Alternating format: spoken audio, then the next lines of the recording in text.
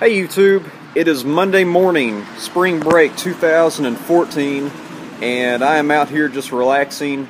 Uh, I'm cooking some chicken breast for lunch. Anyways, uh, this is my last semester at SFA. Uh, I haven't made a video in a long time uh, because I've been working, school, hanging out with a girlfriend, and all sorts of things. Very good things. Also, I just got accepted to Dallas Theological Seminary.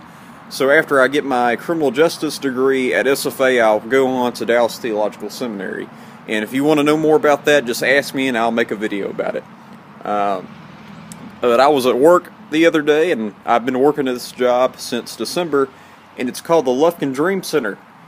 And it's a alcohol and drug rehabilitation program that is faith-based, uh, completely focused on uh, Christ's love for us and how we can overcome things because uh, Christ has overcome all things.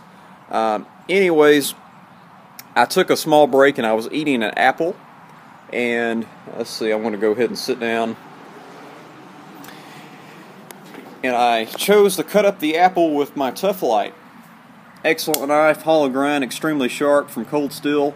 By the way, Cold Steel just came out with some uh, new uh, proof videos. They're excellent. They have the Tuff Lite, the mini Tuff Lite, and it's just it's always uh, I've always me and my brother we've always enjoyed the videos from Cold Steel. So go check them out if you haven't already. Uh, but I was using my Tuff Lite to cut through the apple, and the Tuff Lite just slide right through the apple. I mean, I didn't expect the Tuff Lite to cut an apple that well. Um, I mean, the apple it was like it wasn't there. But unfortunately for me, uh, we'll put that down right there um, I was holding the apple like this, and I pressed that Tuff Lite right on through the apple, and I cut myself. I cut myself pretty good. Let me try to focus in on that. There we go. So it was a nice cut, and there's the Tuff Lite in the background.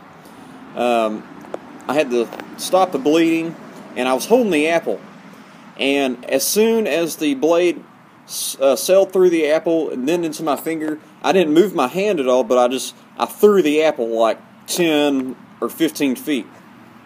So I started thinking about like, um, you know, like knife fighting or something like that. If I were to get cut in my hand uh, with all the nerves in your hand and in your fingers, you would probably just chunk the knife down on the ground if you could hold on. I, I don't think uh, a person with a normal uh, you know, a pain uh, system or a nervous system would be able to hold onto a knife after they got sliced in their hand like that.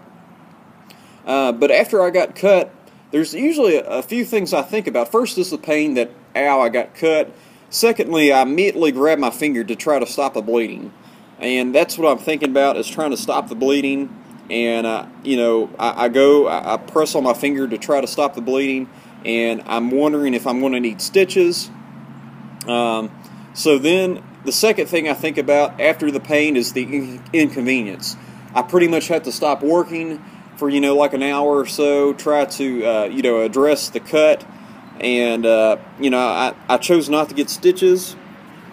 I just put a band-aid, stopped the bleeding, and just went on. And uh, it wasn't a big deal, except for you know I got that cut and I had to take care of now. Uh, but Another thing I think about when I uh, get cut like this is my finiteness, and uh, you know that I'm finite, and the fact that I'm limited, and I'm able to get hurt and you know sick, and uh, you know I'm not all powerful or anything. So uh, that's one thing that I think about. Um, you know that you know it's kind of like when you you have the flu or something. You you remember on the times where you just feel okay and you're like striving to feel okay like that's the best feeling in the world is just to feel okay.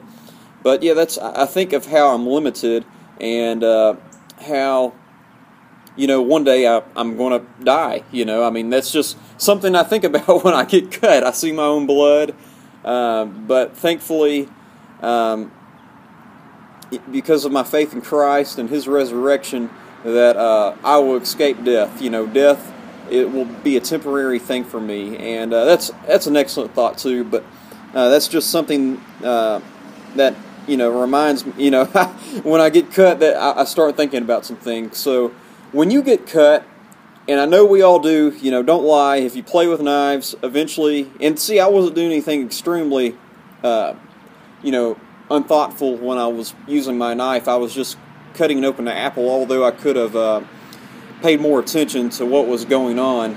But um, you know, when you get cut, what do you think about? What are the feelings and thoughts that go through your mind when you see your own blood? Uh, when you have to take care of yourself, or do you have other people to take care of you? That's another thing I thought about is that very often when we think that we're very independent, but as soon as we get injured or something like that, um, we are very dependent on our friends and our loved ones. And uh, really, this veil of independency is just an illusion. We really depend a lot, not only on our friends and our loved ones, but on society and uh, other things. But uh, that was just the question. When you get cut, uh, what are some of the thoughts that go through your mind? And uh, hopefully, me and my brother can make some videos um, with this beautiful spring break. And I hope you enjoy your spring break. Let me focus in on that.